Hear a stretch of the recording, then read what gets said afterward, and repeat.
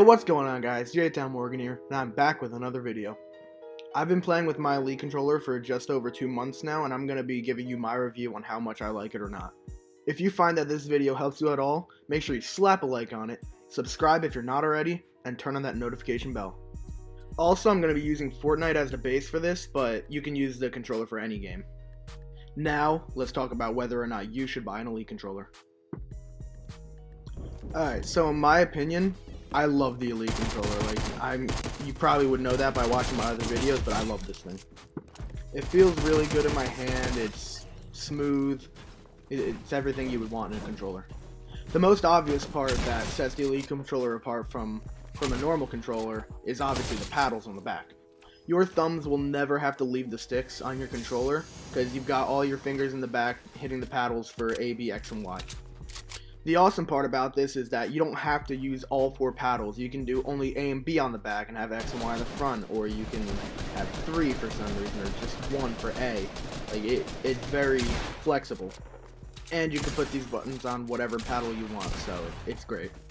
Everything you do when clicking the buttons is just even milliseconds faster. Like it, it might not seem like a big deal now, but like when you're using it, you'll know the difference, and it's awesome a lot of the times what decides whether you live or die or win a game or something like that is a split second decision. And it's not just split second decisions, everything you do is just a little bit quicker and that makes all the difference. Building is much faster with this because you can keep your fingers on the thumbsticks while like turning and doing 90s and stuff like that. You don't have to keep pressing A, jumping, and not being able to turn when you're doing a 90 or building up or building down. Editing is faster, obviously again with the fingers and the thumbsticks. My aim is much better with this controller. Everything is just better. Going along with how it feels, this controller also has customization to it. You could have short sticks like the ones you have on a normal controller. You can have those long, you could have short dome sticks, which are ones that I want. I don't have yet, but I want those.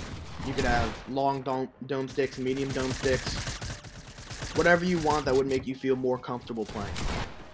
The D-pad is rounded, is more smooth than a normal one with the four up, down, left, right. There are trigger stops on the controller, so you don't have to press all the way down for you to start shooting or driving or whatever game you're playing. This helps you get the first shot on people or stop shooting in a gunfight to get your materials out or something like that, so yeah, they're definitely helpful. Also, there's a little thing that you can switch one and two. One could be like one set that you want for your Elite controller, like you want A, B, X, Y in the back. And then you can switch it over to two just like that and have all the buttons back on the front, which is what I have. Or you could have like a different set for some reason. What I do is I have my four paddles on number one. And I have that as A as my bottom right, B as my bottom left, Y as my top right, and X as my bottom left. Then on the second mode, I just have it set up as a normal controller. I don't really use it, but say like a friend comes over or something like that, then you don't have to go back through your settings and change everything. Or maybe you're comfortable playing another game without the paddles in the back, then again, you can just change it right over. The Elite controller also has its own personal settings that you can go to. You just have to go to the Xbox Accessories app on your Xbox, and you have all these customization options that you could use for your controller. This is how I have my controller mapped out, but you can do yours any way you want. Other than the buttons, you can change stuff like your sticks. Like your left stick, you can set to like aggressive, default, delayed, instant smooth. You can do the same with your right stick. You can adjust your triggers for dead zones and stuff like that.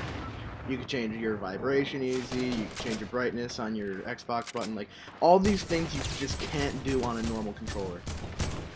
Now, do I think you should get an Elite controller? The Elite controller is pretty pricey. It's the normal one goes for around $150 and I would say if like you have the money 100% go get it but like I wouldn't spend your life savings on it or whatever but it, it's a great controller but there is one downside to it. There is a learning curve on this controller. It took me about a week to learn how to use it, but I definitely think it's worth the trouble because I love this controller.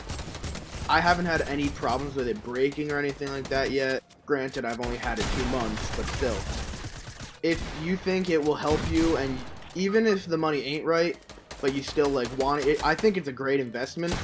I'm not out here telling you to buy it if you don't have enough money, but if you do have the money or you want to spend the money, 100% I would go buy this controller. The way Fortnite lobbies are so sweaty nowadays, you just want to get yourself an edge in, in playing, so. That's all I've got for you guys today. I hope you enjoyed my review of the Elite controller and whether you should buy one or not. If you made it all the way to the end of the video, let me see by you liking the video and subscribing, and I'll see you guys next time. Peace.